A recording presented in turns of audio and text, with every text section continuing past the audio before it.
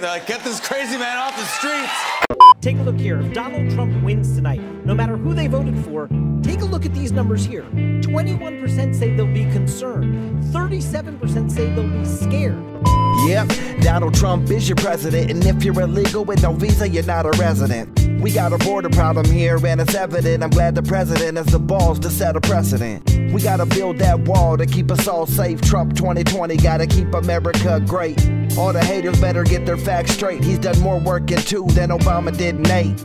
I think the main reason Trump is killing it, cause he's not a politician out there lying and stealing shit. He's already rich and got a couple of billion. Only thing he worried about was beating Bernie and Hillary. Now that that job's done, he'll be saying, Meet me at the White House by the Air Force One. It doesn't matter when it's all said and done, Democrats ain't taking our guns. Clinton should be in prison and Bernie should be in bed. Pelosi is a speaker, but I don't know what she said. Oh, what happened if someone offended again? I think the liberals are all a little sick in the head. To all the media and people out there spreading fake news. Well, you can suck on that Russian collusion. No evidence and the facts are facts. All I hear is the Trump train rolling down the tracks. I hate to be the bad guy, I don't wanna be a jerk. But I'm sorry, Mr. Sanders, socialism doesn't work.